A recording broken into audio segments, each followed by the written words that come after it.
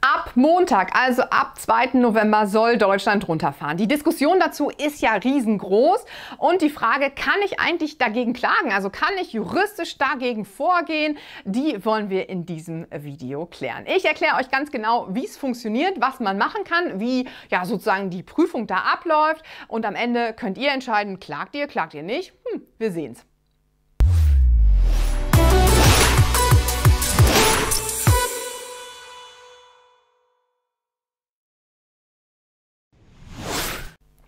Allô, mein Name ist Nika Mutschke, ich bin Rechtsanwältin und Inhaberin der Mutschke Rechtsanwaltsgesellschaft.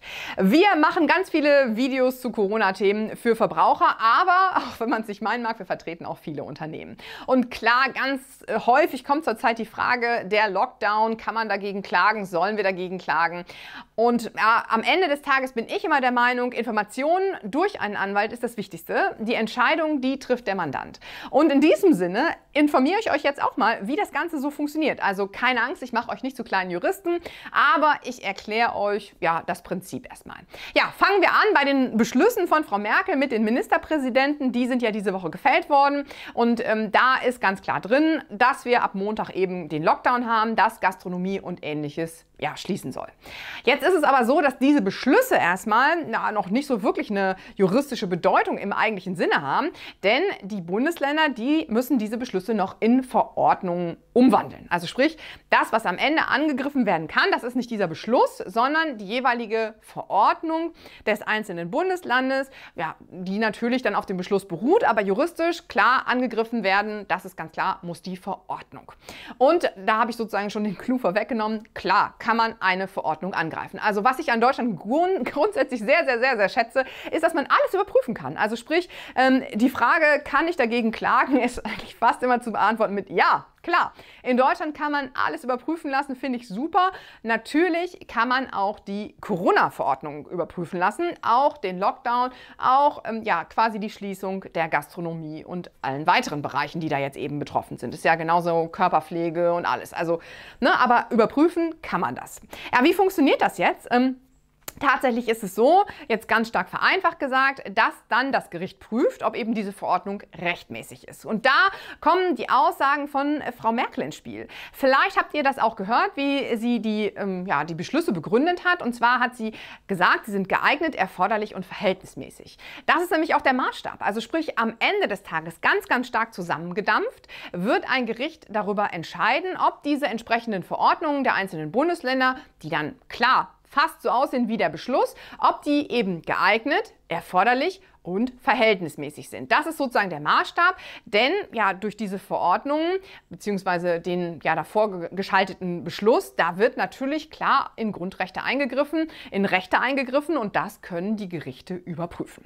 Also sprich, so wäre die Reihenfolge, dass man wirklich sagt, man muss jetzt die Verordnung der einzelnen Bundesländer abwarten, dann kann man klagen und man kann auch in einem Eilverfahren klagen, denn man muss halt auch als Anwalt sagen, die Mühlen der deutschen Justiz, ja, die sind jetzt nicht die schnellsten leisten. Deshalb gibt es genau für diese Überprüfung, ob diese Verordnungen dann wirksam und richtig sind, gibt es dann auch Eilverfahren. Ja, und entsprechend wird eben das Gericht dann genau diese Aspekte, die Frau Merkel auch schon angesprochen hat, prüfen. Und ja, das sozusagen vorwegzunehmen, ich glaube, ähm, dieses, dieses Video wäre sehr, sehr lange. Die Argumente, ich glaube, die haben wir alle ganz gut von sämtlichen politischen äh, Couleur gehört, was dafür spricht, was dagegen spricht. Ich glaube, auch die Diskussion der Virologen haben wir alle ganz gut im Blick. Und all das ja, das muss der arme Richter, so muss man es fast sagen, muss der arme Richter dann auswerten.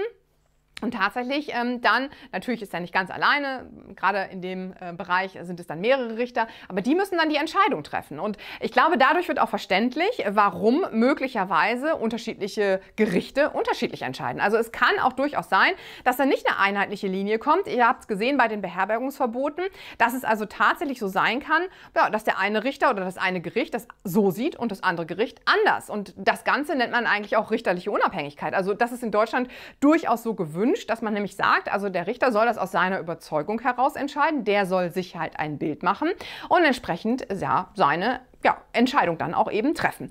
Wenn er der Meinung ist, äh, eben das äh, Ganze ist nicht wirksam, dann wird er ein entsprechendes Urteil fällen und ja, dann kann man eben als Gastronom, der vielleicht dagegen geklagt ist, eben hoffen, dass dann das dabei auch bleibt und damit sozusagen die Schließung der Gastronomie vom Tisch ist. Kleine Anmerkung vielleicht noch am Schluss. Ähm, auch wenn es jetzt nicht so ganz passt, ähm, die Frage, ob ich dann ähm, Schadensersatz bekomme, die schließt sich bei unseren Mandanten ganz häufig an. Ist es dann automatisch mit Schadensersatz verbunden? Hm, nein, also auch da äh, die Frage, ob man eine Entschädigung, so würde man das juristisch formulieren, bekommt, die wird dann wieder ein anderes Gericht klären können, dürfen und müssen.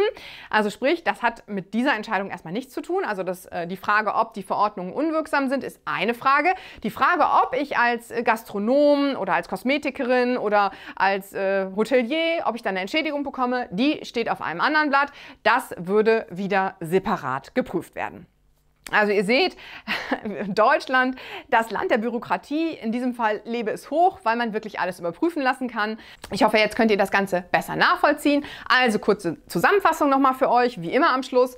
Die Beschlüsse von Frau Merkel mit dem Ministerpräsidenten, die müssen jetzt noch von den einzelnen Bundesländern in Verordnungen umgesetzt werden. Diese Verordnung kann man juristisch angreifen und zwar mit einem normalen Klageverfahren oder auch mit einem Eilverfahren. Und innerhalb dieses Eilverfahrens, da wird dann überprüft, was Frau Merkel Merkel immer angesprochen hat, ist die Maßnahme geeignet, erforderlich und verhältnismäßig. Und ja, wir alle sind gespannt, wie denn die unterschiedlichen Gerichte entscheiden werden. Gleich, unterschiedlich, wie auch immer.